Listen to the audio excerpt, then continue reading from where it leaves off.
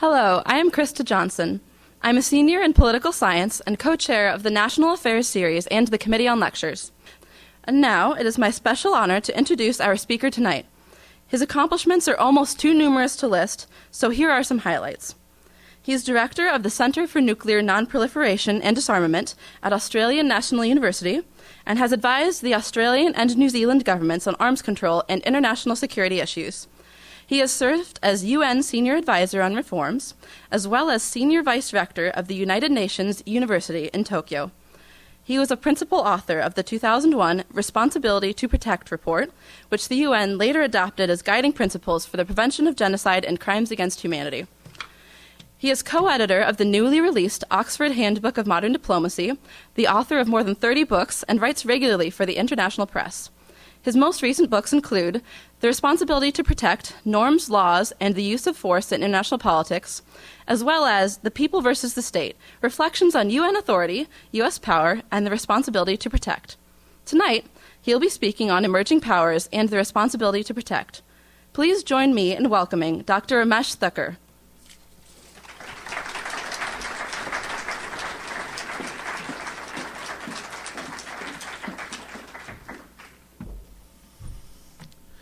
Thanks very much, Krista. Uh, I must say, I think I'd rather be listening to any or all of the uh, following three speakers that you mentioned.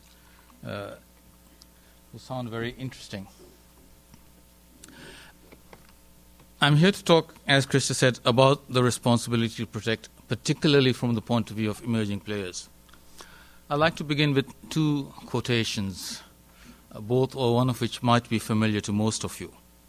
The first goes back a very long time to the 5th century BC, and it's from Thucydides. A very familiar quotation for all of us who study international relations. The strong do what they can, and the weak suffer what they must. The second quotation is from more recent times and from your own Mark Twain, which not that many actually have heard of. God created war so that Americans would learn geography. Let me begin with four apparently unrelated issues and events. The intensified use of drones to kill foreign based enemies has been described in a joint study by Stanford and New York law schools as violating international law international humanitarian law, international human rights law, and possibly also US law. The creation of an uber surveillance state that, that spies massively and routinely on millions of Americans and foreigners has stirred an angry backlash. The refusal to prosecute the torturers and the legal enablers from the Bush regime while pursuing, prosecuting, and persecuting whistleblowers of government malfeasance shows a strange perversion of priorities in the land of the free and brave. Finally, France and the US threatened to unleash unilateral strikes on Syria until outfoxed diplomatically by the wily Russian president. Now, what common theme unites these four disparate events? Well, all of them attest to the centralization of power and authority in the White House. The Obama administration has asserted the right to act as it sees fit without transparency, congressional oversight, congressional or UN authorization, and without domestic or international judicial accountability on literally life and death decisions on Americans and foreigners alike. The primary purpose of the responsibility to protect, or to use its common acronym R2P, as we developed it back in 2001, was to provide a basis for full spectrum international action to protect victims of atrocities within a legal framework that also meets the test of global legitimacy. It used to be the case when I was growing up that it was die-hard conservatives who believed in quaint ideas like the rule of law. Now it seems to be part of the radical agenda to believe in the rule of law. On the first part, legal principles, the framework of laws and dispute resolution must apply, apply equally to all, the powerful and the weak, rulers and citizens, and it must govern relations among and between them. On the second part, global legitimacy cannot be achieved by collapsing the international community into the transatlantic community and substituting NATO enforcement for United Nations authorization. What Russia has done is to subject Syria to international law and UN authority. What President Obama and Secretary Kerry were demanding is Syria submit to US authority and surrender to American might. President Putin has brokered a deal to get Syria to sign the Chemical Weapons Convention and have its chemical weapons stockpile and infrastructure verifiably destroyed and dismantled by the Hague based Organization for the Prevention of Chemical Weapons, or the OPCW. Putin's op ed in the New York Times was aimed at much, as much at the global as American audience. He may have irritated talking heads among the latter within the United States. He won the former, the global audience, hands down. The administration's desperate efforts to claim Syria's surrender of chemical weapons capability as a victory for its threat of strikes. And let me remind you, in no uncertain terms, the threat of the use of force is also illegal under the UN Charter, not just the actual use of force. This claim is not merely self delusional, it also validates President Putin's narrative of the United States as a rogue state addicted addicted to bullying all the weaklings in the global backyard who refuse to kowtow to its dictates. The morally dubious provenance of the author, Putin, does not soften the sharp sting of his analysis. There exists a wide world out there that is much bigger than the United States or even than the transatlantic community. There are times when I think I must have had a Rip Van Winkle moment and missed the historic point at which the divine right of kings to rule over their subjects morphed into the divine right of the US administration of the day to rule over the rest of the world by executive decree, internal bureaucratic determination, and presidential whim. on what basis does the US president decide who should be which other country's ruler? In other words, the world looks differently from beyond America's shores, and how we perceive and where we stand on global issues is shaped strongly by where we come from and who we are. So the worldviews of Americans and others are alike shaped by their personal and historical experiences. For example, the giants of American media collaborated with the Orwellian redefinition of common understandings of torture after 9 11. When other countries engaged in waterboarding, the Los Angeles Times and the New York Times called it torture in 86 and 91% of their articles, respectively. But when Americans engaged in the practice, they called it torture in 8% and 11%, respectively. Same action. Or take another example.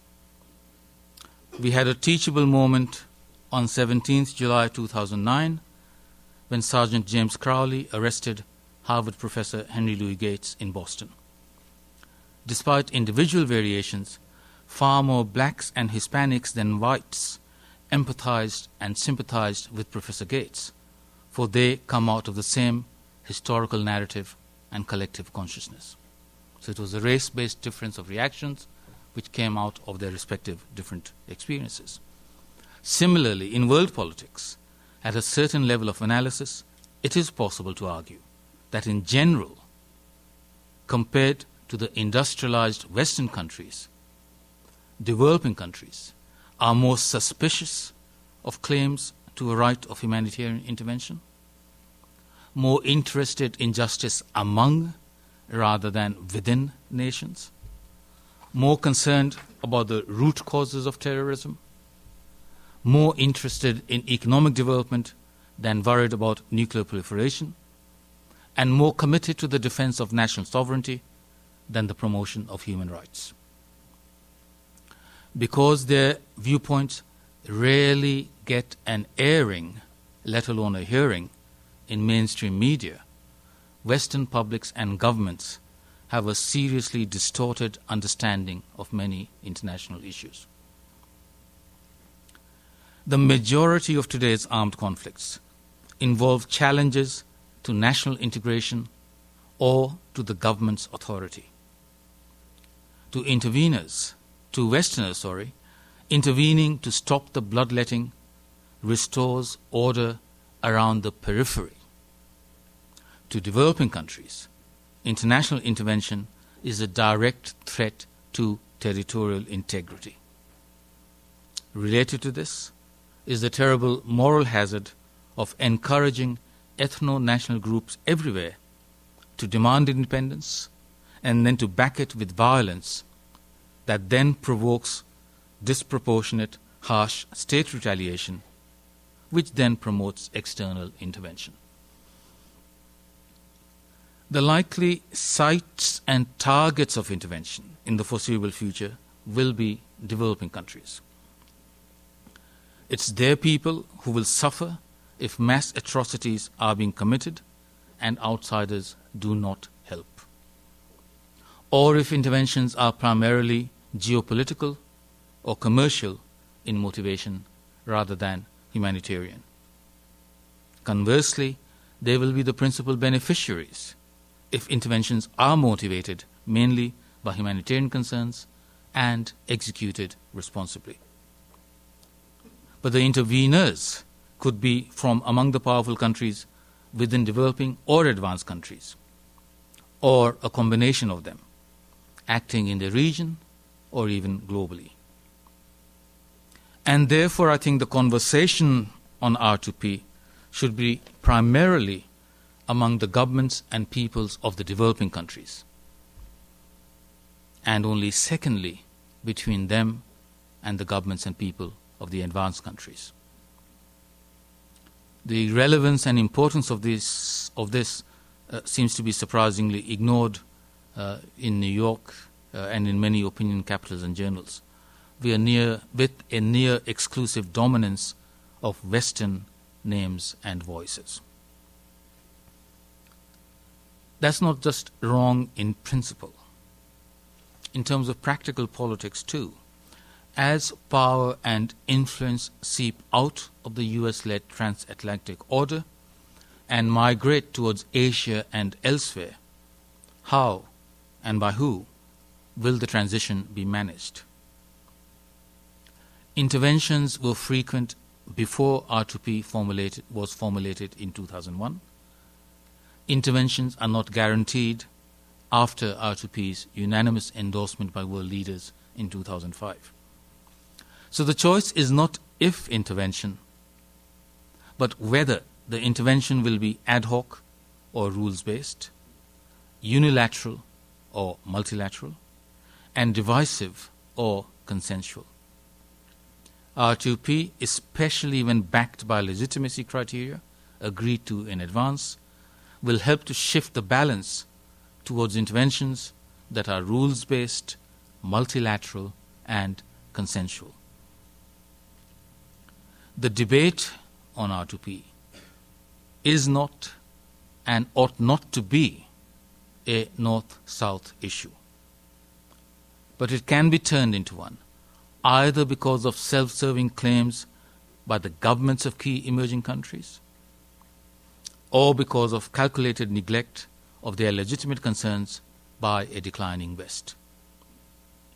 Many non Western societies do have their own historical tradition of reciprocal rights and obligations that bind sovereigns and subjects.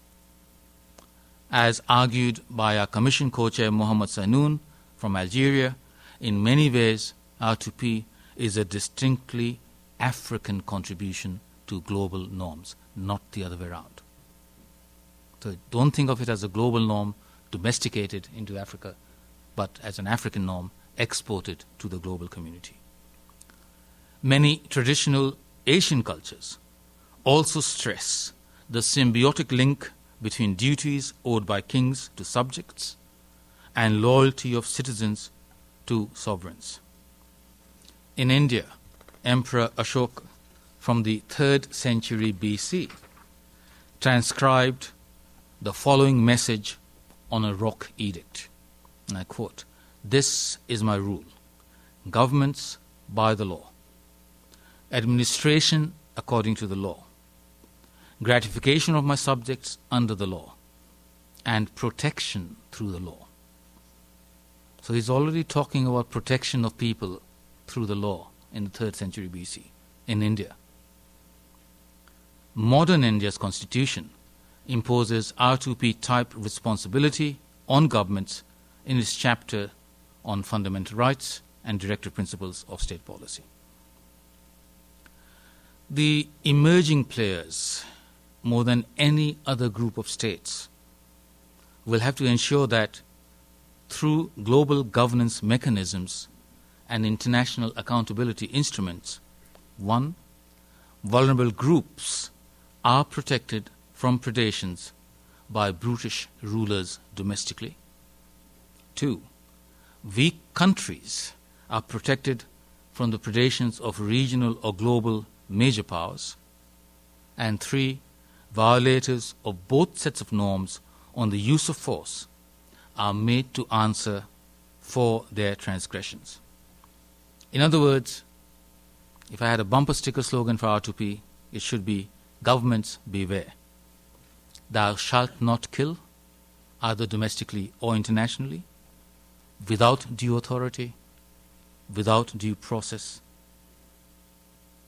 and in defiance of the rule of law.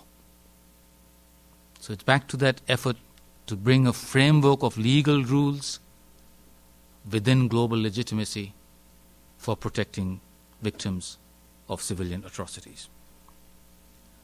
R2P spoke eloquently to the need to change the United Nations normative framework in line with the changed reality of threats and victims in today's world.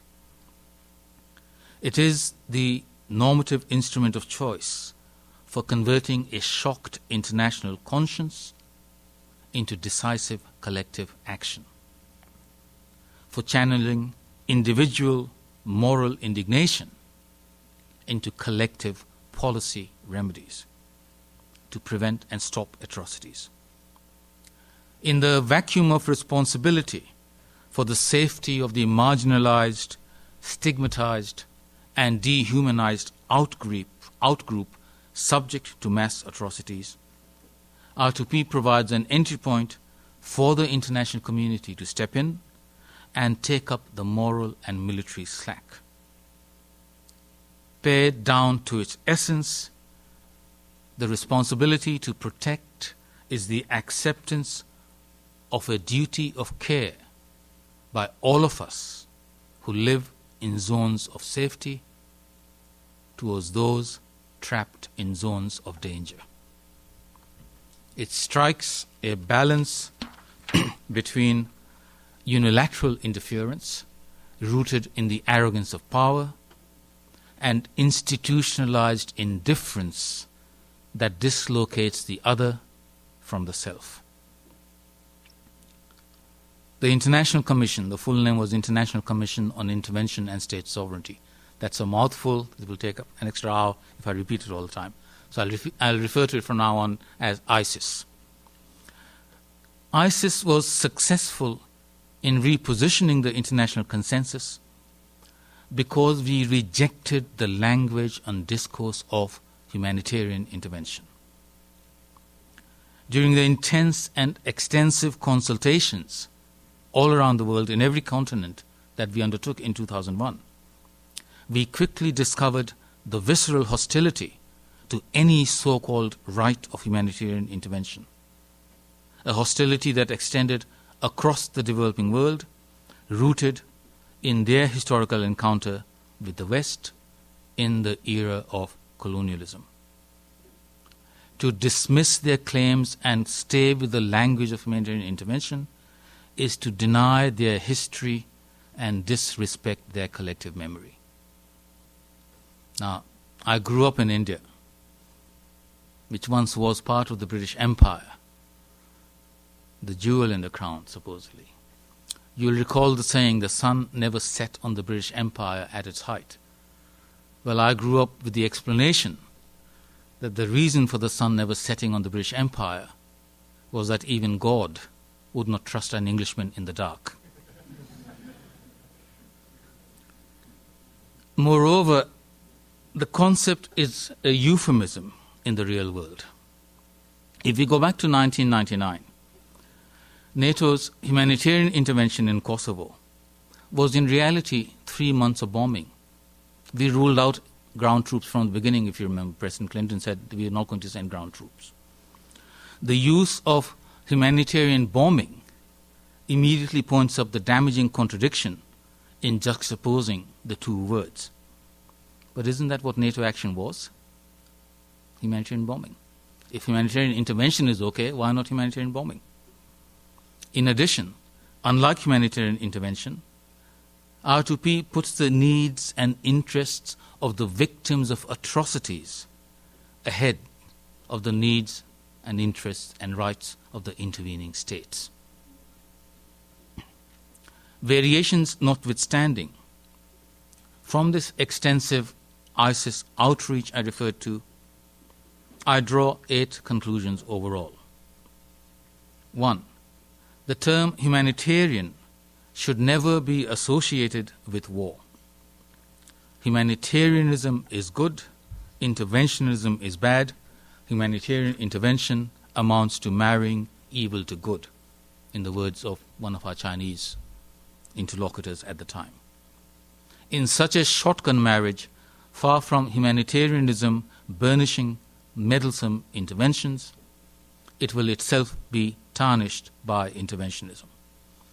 And while that was in China, uh, in Africa, someone threw a question at us, which was if a vegetarian is someone who eats only vegetables, what does that make a humanitarian? Second, the use of force for moral reasons is dangerous and counterproductive in its practical effects.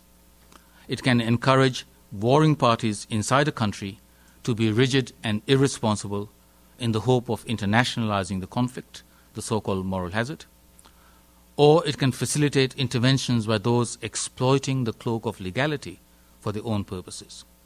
Both can prolong or cause large scale sufferings. Three, there's an inherent conceptual incoherence. The individualistic conception of human rights in Western discourse is somehow mystically transformed into collective rights, the protection of groups of people, at the same time as the collective rights of the entire nation are still denied legitimacy. Four, the inconsistent practice, the double standards, and the sporadic nature of Western powers' interest in human rights protection shows that noble principles are convenient cloaks for hegemonic interests. Five, the results of Western intervention had not always been beneficial, to put it politely, and sometimes had aggravated the crises and created fresh problems. Six, the United Nations has a central and indispensable role as the sole agent for lawful authorization.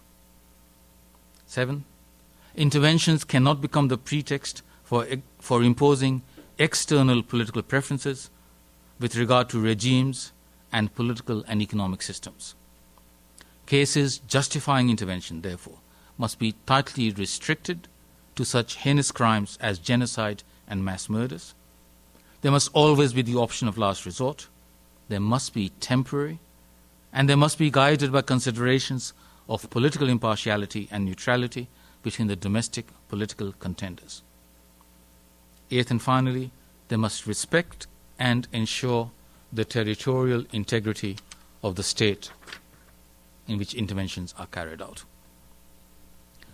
Our report was published in December 2001. Its main thrust was endorsed unanimously by world leaders in 2005. Their reformulation added clarity, rigor, and specificity, limiting the triggering events to war crimes, genocide, ethnic cleansing, and crimes against humanity. And so realigning the emerging global political norm with existing categories of international legal crimes. Secretary General Ban Ki moon's successive special reports, one a year since 2009, have sustained and consolidated the new international consensus. Civil society organizations have promoted a vigorous process of R2P norm socialization and crystallization. The annual debates by the UN General Assembly have helped to forge a shared understanding of R2P, to distinguish it from humanitarian intervention, and to align it with building capacity to help states exercise their sovereignty more effectively. So that's by way of abstract, general, conceptual background, and as I'm happy to go through the process in detail uh, later on if anyone wants. But let me apply what this means to two recent cases Libya and Syria. Uh, short digression on Libya, uh, and then I want to come to Syria. Whereas originally I had meant to speak about Libya, but during the time uh, from when I agreed to do this and now the world has moved on. The use of force, no matter how benevolent, enlightened, and impartial in intent, has empirical consequences. It shapes the struggle for power and helps to determine the outcome of that political contest. That is why it is inherently controversial, contentious, and contested. Libya was the first road test of the coercive, sharp military edge of R2P. Its invocation was almost a textbook illustration of R2P principles. But its implementation proved the need for legitimacy criteria to guide decisions on authorizing and overseeing international military intervention. R2P was the discourse of choice in debating how best to respond to the crisis in Libya in 2011. And the Security Council, for the first time, invoked R2P under the coercive Chapter 7 of the UN Charter. Although successful, however, the Libyan operation proved controversial and contested, and the price of overreach in Libya by NATO has been paid by the people of Syria. The Libyan experience also confirms that the debate on military interventions cannot avoid questions of regime legitimacy, state capacity, and state building. Security Council Resolution 1973 authorized the use of all necessary measures to protect civilians and civilian populated areas. In the Balkans, it took NATO a decade to intervene with air power in Kosovo in 1999. In Libya, it took just one month to mobilize a broad coalition, secure a UN mandate, establish and enforce no kill zones, stop Gaddafi's advancing army, and prevent a massacre of the innocents in Benghazi.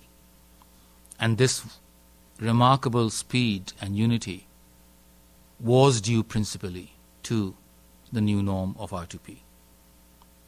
So the outcome was a triumph for R2P.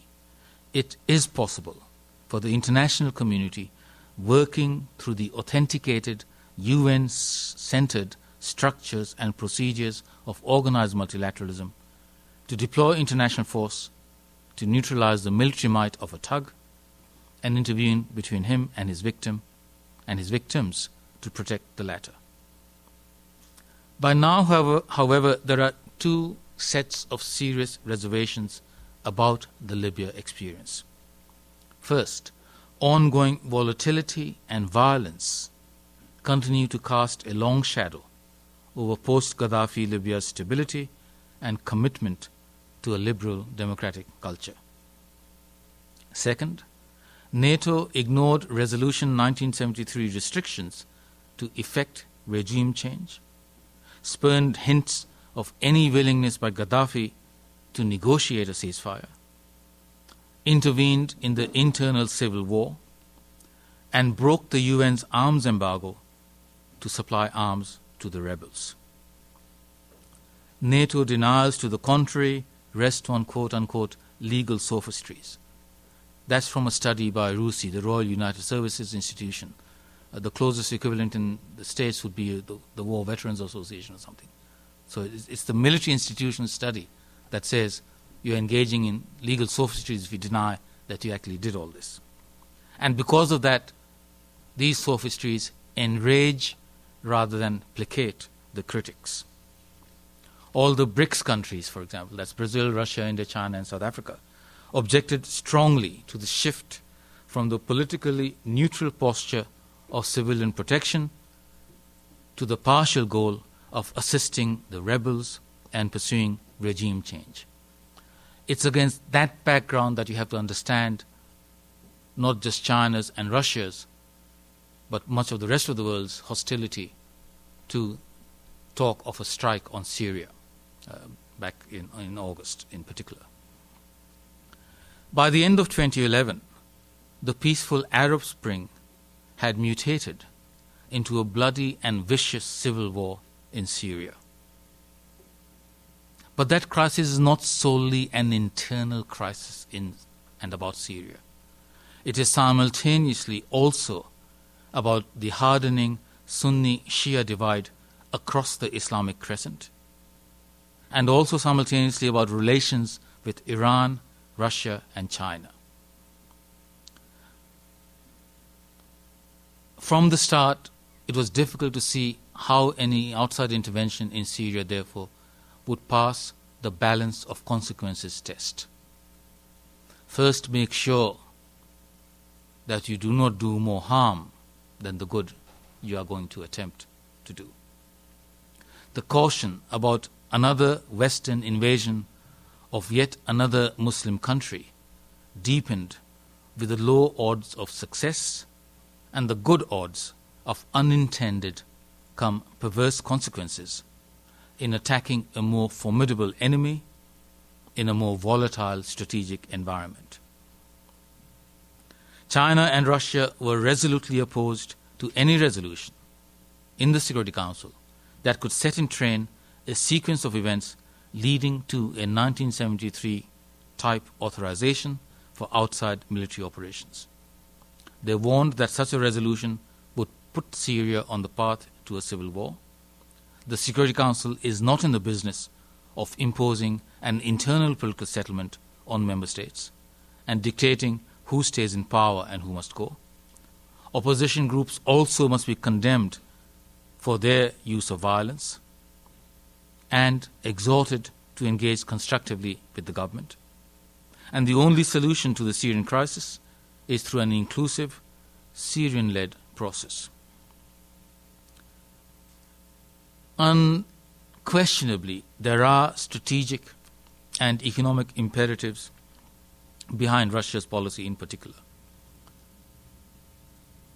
But I also put it to you that the strength of the Sino Russian opposition reflects a conflict of political approaches and a rejection of armed domestic confrontation backed by international enablers to pursue regime change. The crisis came to a head of sorts after the use of chemical weapons in the Damascus suburbs on 21st August this year. The ensuing global debate showed three sets of concerns. facts yet to be established, insufficient thought to the goal and aftershocks of the strikes, and unclear legal basis of the strikes. Let me go through each of these in turn. Facts. Reading from a distance, it seems to me that leading American politicians have routinely condemned Assad of having massacred more than 100,000 of his people. So do some analysts and commentators who should know better. The figure of more than 100,000 represents the total number killed in Syria on all sides. The best available estimate breaks that figure down as follows 40,000 rebels, sorry, 40,000 civilians, 22,000 rebels, 27,000 government soldiers, 18,000 pro regime militias, others an unknown 3,000, total 110,000. So the civilians is 45,000. The total number is 110,000. That's people on all sides. So let's get the figures right. Second, on facts, the West didn't help its credibility problem by jumping from allegations that chemical weapons had been used, which few denied, to conclusions that they were used by the regime, and therefore military retaliation was justified and necessary. Washington failed to establish the chain of custody from manufacture or import to storage, deployment, decision to use, and use. And after Colin Powell's famous performance in the Security Council with regard to Iraq, I'm sorry the rest of the world ain't going to buy just assertions coming out of Washington.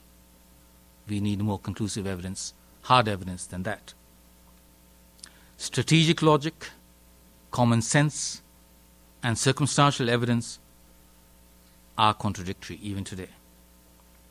Syria flouted the global norm to be one of just five countries not to have signed the convention banning chemical weapons and destroying stockpiles. The rebels were losing the war and desperate to entangle the United States on their side. President Obama, unwisely I think, had drawn a red line around the use of chemical weapons. Unwise because that was an open invitation to rebels who were callous and clever enough to stage an attack on their own people and implicate the regime as the perpetrator. Assad, winning the war, had no reason to use his weapons, and every reason not to. As President Putin said in his New York Times op ed, and I quote, No one doubts that poison gas was used in Syria. But there is every reason to believe it was used not by the Syrian army, but by opposition forces to provoke intervention by their powerful foreign patrons who would be siding with the fundamentalists. Unquote. We haven't seen any evidence to back that assertion, but it makes sense in logic that that's what they would aim for. Using chemical weapons so close to Damascus to target such a tiny rebel force with a UN inspection team in the country would be sheer stupidity on the part of the regime. On the other hand, circumstantial evidence does point that way. But then circumstantial evidence also shows that the rebels may have used chemical weapons on a much smaller scale back in March. And we know that in July, Turkish police caught several al Nusra jihadists with two kilograms of, sa- of sarin, the nerve agent. So the evidence to date, while not definitive, does point the finger of crim- criminality at the regime for the 21st August, August incident. Why do I say circumstantial, circumstantial evidence? Well, only the Syrian army has the capability to mount such an attack. Eyewitness accounts indicate that the rockets came from government held territory. The regime has past form on chemicals use, and the types of rockets used are believed to belong to the government inventory. A German newspaper citing findings based on phone calls intercepted by German intelligence, reports that President Assad did not personally order the chemical weapons attack. On the contrary, he rejected several requests from military commanders to use chemical weapons against regime opponents in recent months. on this contradictory evidence, logic, where do I stand personally? Well, I come to two conclusions. One, Russia and China cannot convincingly argue that Assad forces have never used chemical weapons during the two years of the civil war. Two, the West cannot convincingly argue that rebel forces have never used chemical weapons during the two years of the civil war. So it doesn't help in terms of the next argument, which is moral purpose. A war weary public doubts that the West has any dog in the fight in the Syrian civil war, where a rebel commander filmed himself eating the heart of a government soldier, and almost half the rebel fighters are jihadists. Obama failed to communicate why an attack on Syria would be in the US national interest, why it would not damage the principle of international law on interstate relations, how the strikes would weaken Assad without strengthening and emboldening Al Qaeda, how they would protect Christians and other minorities from being attacked by Islamist extremists, and how they would end the vicious civil war. Consequently, there was strong and rising public, military, and congressional opposition to the threatened strikes on Syria, even after the administration's statement of case for them. In fact, the polls seem to show that as we went along, and the more the administration argued its case, the support declined because people focused on it and realized how thin the case was. Hoary slogans were dragged from the cobwebs of history to suggest that the world was facing a Munich moment, Kerry in Paris, in trying to appease instead of confronting a Hitler like dictator. If that was the scale and gravity of the threat, what would be the point of strikes that would be unbelievably small, narrow, limited? How would it impact the stability of the strategically vital region? How was it connected to a wider diplomatic strategy for resolving this Syria conflict? Little wonder that Kerry's claim about this being unbelievably small was rejected almost immediately by the president, who said the US military doesn't do pinpricks. There's no clarity about how, where, and by what means China, Russia, Iran, and the Shia militias would retaliate. Russia's attitude was described by one of their middle experts as, and it's, it's a nice quote, in a race across a minefield, it is wise to let other runners overtake you. If the strikes do lead to Assad's ouster, power would quickly fall into the hands of an even more murderous anti Western regime allied to Al Qaeda. The ouster of Saddam Hussein, in effect, delivered Iraq to Iran. Does Washington really want to deliver Syria to the Al Qaeda next? What are the risks known and unknown, as Donald Rumsfeld might ask? No use of air power is ever surgical large numbers of innocent people get killed always. Nor does an air war always end cleanly and decisively. Even limited and narrow airstrike sucks the United States into this vortex of Syria's civil war. Which recent Western intervention has left a rosy afterglow instead of death, destruction, and broken nations? Iraq? Afghanistan? Libya? Is the West determined to prove the truth of Einstein's observation that, uh, in, that insanity lies in doing the same thing over and over again, expecting a different result each time? If the main goal was to send a message, then the BBC reported a man at a town hall, town hall meeting in Ohio who captures this complexity, I think, the best. What are cruise missiles going to do but kill people? If Obama wants to send Assad a message, text him. On the legality, legitimacy, almost all countries and peoples abhor chemical weapons and support the enforceable ban on its use. but the prohibition on the use of military force against other states, except in self defense or under UN authorization, is much more crucial to the direct security. For example, of countries in the Asia Pacific, in the shadow of China as it rises again and contests US primacy in the Pacific. So, of course, from Australia's point of view, we abhor the use of chemical weapons against civilians in Syria. But the rule that major powers may not use force unless under attack themselves or under UN authorization, that is much more crucial to us for our national security as China becomes more and more powerful. Military action without UN authorization would violate international law. No foreign country has been attacked by Syria. The Kosovo precedent from 1999 is no help. Contrary to the dominant NATO view, majority world opinion is that at best the NATO operation in 99 was illegal but legitimate in the circumstances. At worst, it was both illegal and illegitimate. So Iraq in 2003 is the more relevant comparison. We worked hard in 2001 to craft R2P to distinguish it from the deeply controversial NATO humanitarian intervention in Kosovo.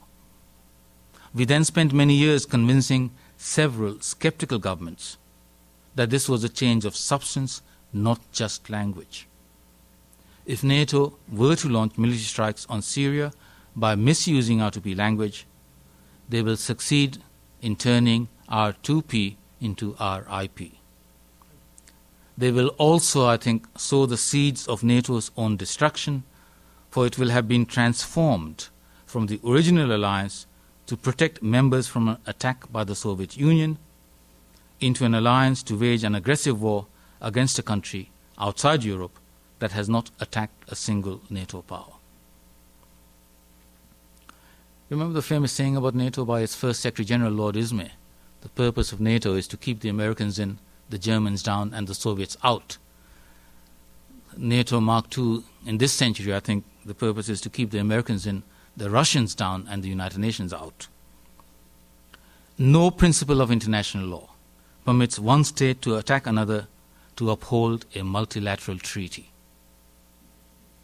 the legal mechanisms and remedies for dealing with alleged crimes of chemical weapons use are set out in the Chemical Weapons Convention and also in the 1925 Geneva Protocol. Recourse to these would signify collective determination to uphold the global norm against chemical weapons use, and they would strengthen these treaty regimes. Unilateral strikes, by contrast, would take the world back into the law of the jungle dressed up as international law enforcement. The Chemical Weapons Convention translates the world's moral repugnance of chemical weapons into a legally binding treaty. Signed by 189 states, it has been in force since 1997. Only five countries have not signed Angola, Egypt, North Korea, South Sudan, and Syria. And Syria now is coming on board. Israel and Burma have signed but not yet ratified. The OPCW has overseen the verified destruction of more than 80% of the world's declared stockpile of 72,000 metric tons of chemical agents. All major powers, from west and east, north and south, should collaborate to promote the universalization of the treaty. Given the identity of one of the holdouts, this might pose more of a problem to the US and the West than to Russia and China. To come back to my main theme about emerging powers, the global rebalancing underway embraces military, geopolitical, economic, and even moral adjustments to the shifts in power, wealth, influence, and ideas of good governance and civic virtue. Westerners have lost their previous capacity to set standards and rules of behavior for the whole world. As Brazil, China, India, among others, emerge as important growth centers in the world, the age of the West disrespecting the rest's role, relevance, and voice is ebbing. But if we reverse that direction of analysis, so far the signs are that the new players in the global bloc are more interested in the status and trappings of power than in assuming the burdens of leadership that come with the territory. Nor is it clear that they have the institutional capacity to connect national aspirations of rapid economic development and political stability to breaking, to breaking global gridlocks on such issues as democratization, political and market freedoms, civil liberties, and human rights. So when Ambassador Rao is here next week, a question to be directed to her might well be how and when do you see India being transformed into a rule shaper, where you begin to take responsibility for setting the global norms, not just rejecting what others are proposing? The increasingly confident BRICS resent calls for responsible stakeholder policies when by responsibility is meant you accept the rules that we have set. The debate on how best to operationalize R2P requires a respectful conversation among proponents and skeptics over when, how, and by whom to execute the international responsibility to protect. The consensus in our Commission in 2001 and at the United Nations in and since 2005 resulted from a genuine North South dialogue.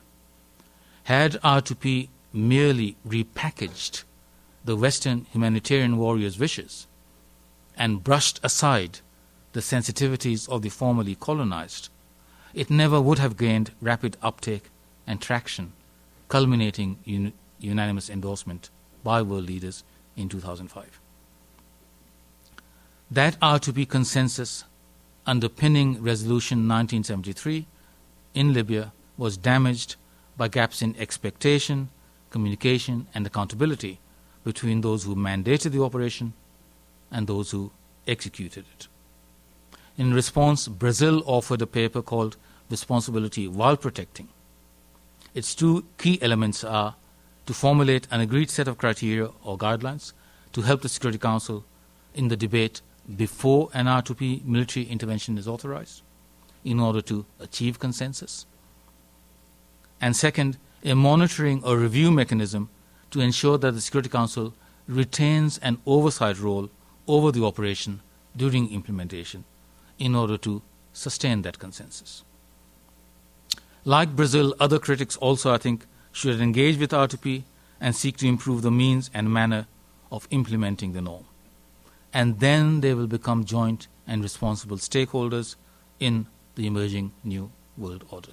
Conversely, as long as the rising new powers remain concerned mainly with consolidating national power aspirations and less with developing norms and institutions of global governance, I think they will remain incomplete powers, limited by their narrow ambitions with the material grasp being longer than the normative reach.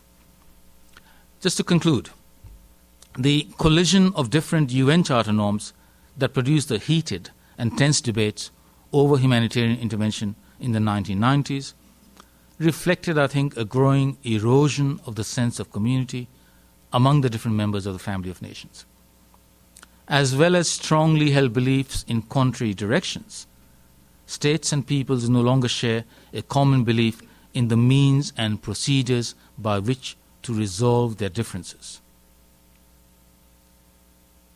Reframing humanitarian intervention as a responsibility to protect at least re established an international consensus. However, the implementation of the sharp military end of R2P in Libya and the failure of civilian protection in Syria show that the global consensus on R2P is tenuous and fragile rather than robust and resilient.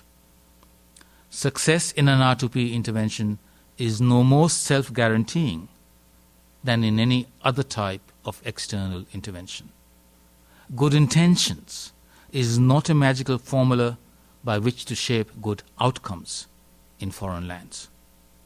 On the contrary, there is no humanitarian crisis so grave that it cannot be made worse by an external military intervention. The use of force, therefore, must always, always be the option of last resort, not the tool of choice for dealing with threatened or occurring atrocities. Equally, however, it must remain as the tool of last resort. It cannot be taken off the table. But R2P action for protective intervention must also be, not should be, but must be, UN authorized in accordance with the UN Charter and for civilian protection, not punishment, not regime change. Thank you very much.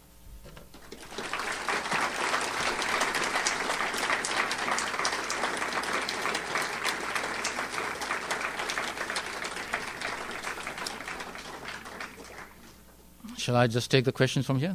Okay. Well, there are. There's obviously a mic in there, so if you can queue up behind the microphone and take your turn for questions or comments. Uh, can you turn it on before it, it's not on?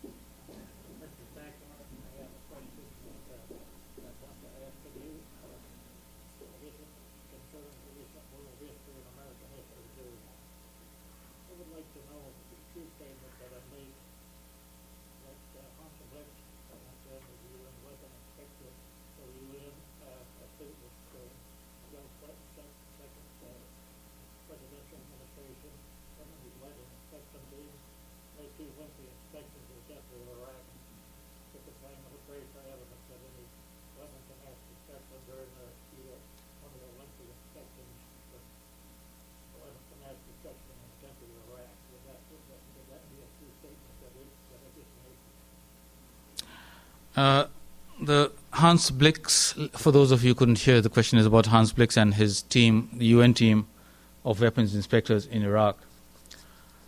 What we do know now, fairly definitively, is that the UN team was successfully in completely disarming Saddam Hussein of all weapons of mass destruction. It would be nice to have people in Washington actually acknowledge that, uh, but they haven't done so. No.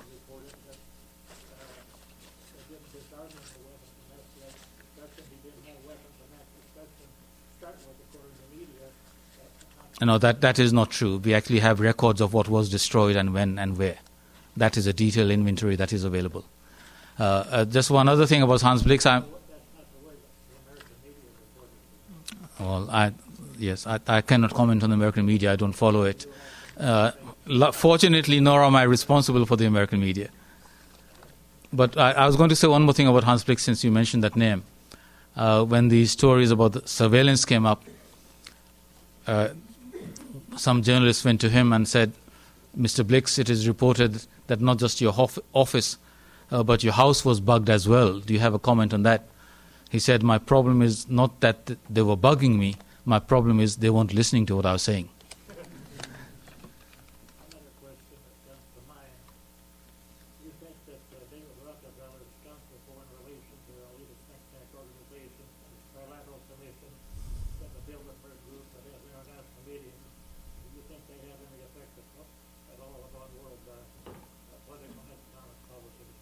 Uh, I think that's probably a question better directed to people like Professor McCormick who study and teach U.S. foreign policy. Uh, Council on Foreign Relations is certainly an influential organization, uh, but there's no shortage of influential organizations in this country, uh, and, and the degree of influence they exercise depends in part on the party in power in the White House uh, and in part on individual access as people go back and forth. Uh, can I also say that one of the great strengths of American de- democracy and you are unique in this as far as I know in the world, is the way senior people and uh, lower level people as well go in and out of government, academia, civil society, and, and the private sector. I think that adds infinitely to the vigor and strength and resilience of our democracy and I wish uh, my country would follow that example.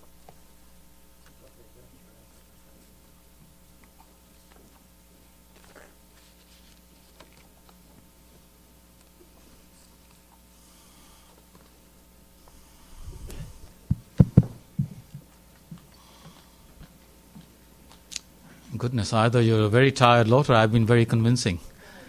Go ahead, please. Oh, the mic isn't working, so you might as well. Yeah. Um, it's working. It is working. Okay. There you go. Can you hear me better this yep. way? Uh, you mentioned the situation in Kosovo, and you were mentioning how um, it's not really right to combine a military intervention with a humanitarian sort of an effort. And I'm curious if you were Bill Clinton, what would you have done to stop the killing in Kosovo? There are Kosovo is a more complicated issue for a number of reasons. Uh, it, it, goes back one to a question of timing. Uh, the, the difficulty is at the time when the atrocities are the worst, it's not so easy to forge consensus in democratic countries because it's a time consuming process. So by the time you act, it may not actually be as bad, and you end up triggering another problem. Uh, the second problem there is they claim to be acting in the name of the international community with no evidence to support that claim whatsoever. I think they could have taken the case to the General Assembly, and I think they would have got the votes. We have a procedure in the UN system which goes back to the Korean War, interestingly, uh, where under the so called Uniting for Peace resolution, you can demand and convene a session of the General Assembly under emergency, under special session, and under emergency special session. In the latter case, it is required to be convened within 48 hours. It deals only with the matter to hand.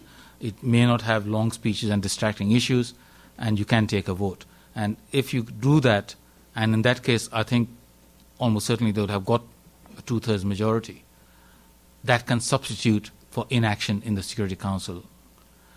If you don't want to do that, it means you're not confident of your numbers uh, in, in, Now, the other extenuating circumstance in the case of Kosovo also is it is accepted that regional organizations can play a peace and security maintenance role within their area of operations, and they may have legitimacy in claiming that on border, and Kosovo certainly fits on border things. So it's a more complicated issue, but that's why I said at best one opinion would be that it was illegal, illegal but legitimate majority opinion still thinks it was both, or, or, at worst, it was both illegal and illegitimate. So it, there are complexities there. Remember also, the NATO had been playing an enforcement role for a decade under UN authorization and resolutions over different issues. Uh, and there never was a single Balkans resolution that was vetoed in the Security Council, by the way. Not one. The only one that was vetoed was the uh, preventive force in Macedonia, but that had nothing to do with the Balkans issue. It was China-Taiwan issue. So they didn't. In other words, I don't think they got the politics right, uh, but they went in and acted. So there was someone else. Yeah. How do you feel states should respond to genocide, such as we saw in Rwanda and most recently South Sudan? How do you feel states should respond towards that genocide that's going on in between not states but between rebel forces?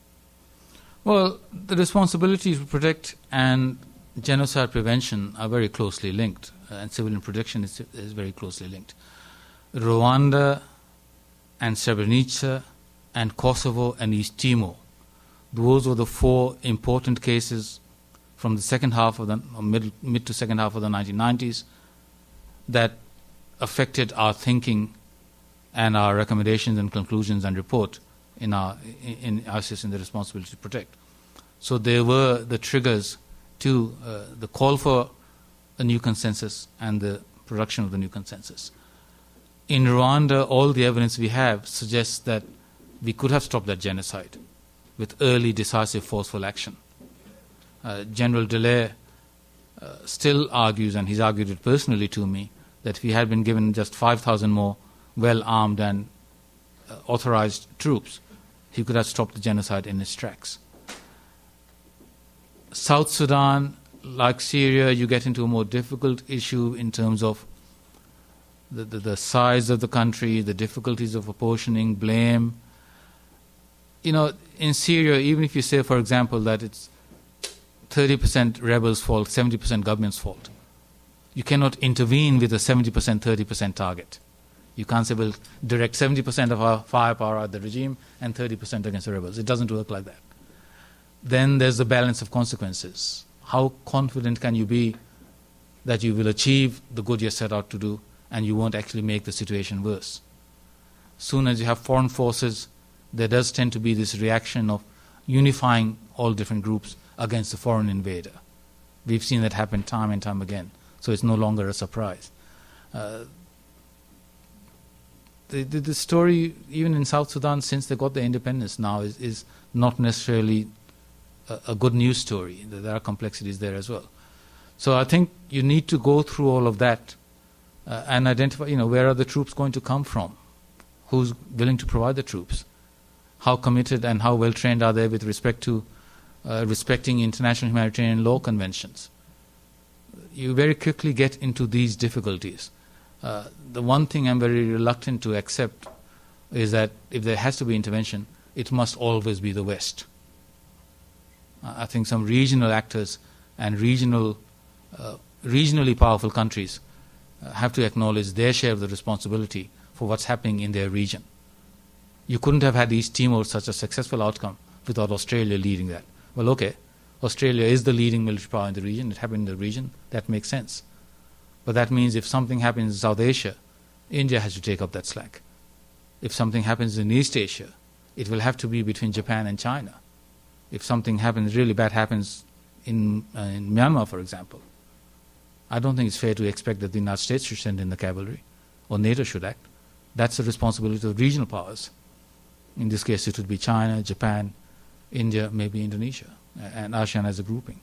So I think we have to identify all of these factors and who the actors, lead military actors, are going to be, you're not going to get a successful, sustained intervention unless there's one regionally powerful state whose interests are engaged.